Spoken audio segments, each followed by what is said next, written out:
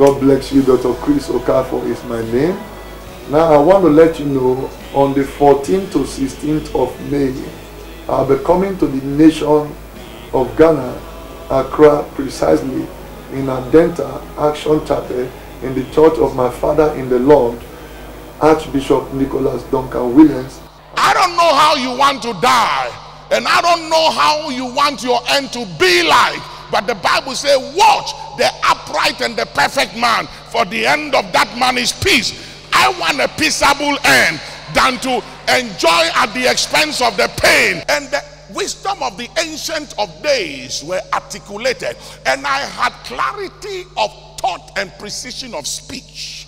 And I spoke like a dignitary because I was addressing dignitaries.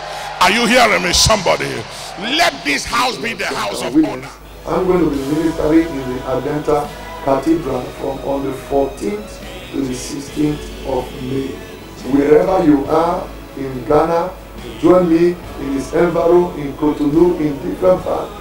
Join me. It's going to be three days of heaven on earth, prophetic declaration, prophetic manifestation as never before. There's going to be mighty move of the Spirit of God. I'll be prophesying into your life with accuracy.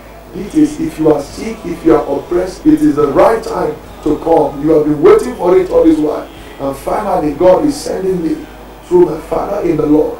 While coming here, the power of God is going to move as never before. And the host pastor in the cathedral, Pastor Reverend Ben Salah, is going to be joining me to minister. The power of God will be mighty as never before. Take the telephone number on the screen. Begin to call for inquiry right now. For inquiries and for seats reservation. Take the address down right now and begin to make arrangements on how to attend. I will see you in Accra, Ghana, by the grace of God.